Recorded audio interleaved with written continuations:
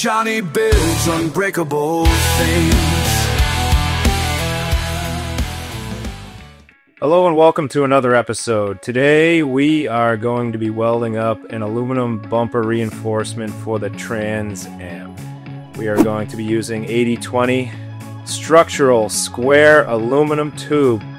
For these welds I'm going to be using a dual wire feeder attachment to get a wider weld seam. Uh, first I'm going to tack the parts in place, then we'll do the welds.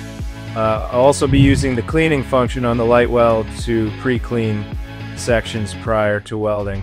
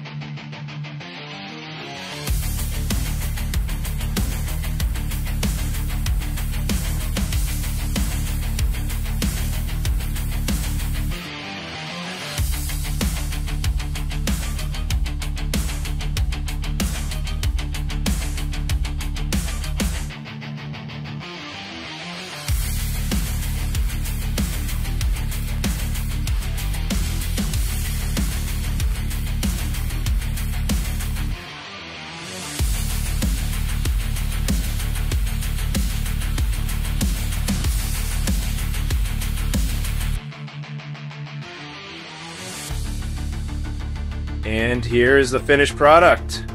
There are a lot of welds on this one, but with the LightWELD, we got the job done quickly and the quality on the welds is great. I'll see you next time.